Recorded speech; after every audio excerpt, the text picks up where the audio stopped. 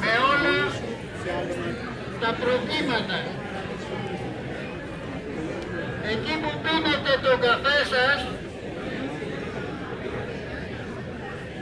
βάλτε και λίγο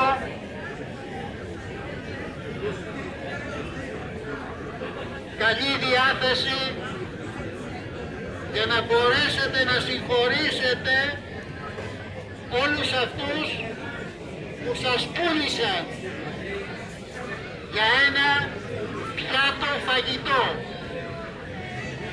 Αλλά το είπα και το επαναλαμβάνω.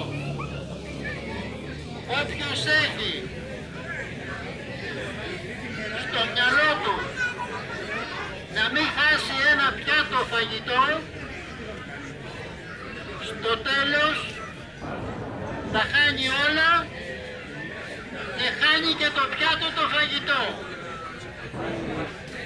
Έτσι λέει η ιστορία.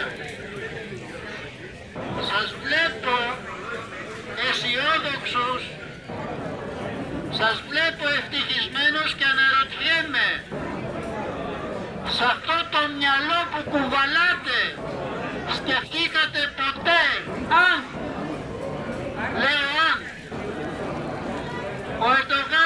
τον τρελό και αμολύσει κανέναν πύραυλο στην Αθήνα. Τι κάνουμε μετά, γιατί ο Ερντογάν και ο κάθε Ερντογάν που αισθάνεται και είναι ισχυρός δεν κάνει τίποτα να στείλει έναν πύραυλο στην Αθήνα και να μας διαλύσει σε μηδέν χρόνο. Γιατί όταν οι Έλληνες υπουργοί, πρωθυπουργοί, βουλευτές κλέβαν τα δισεκατομμύρια, ο Ερντογάν έφτιαχνε το βιομηχανικό πάρκο στην Τουρκία και προσκαλούσε όποιον θέλει να επενδύσει ελάτε κύριοι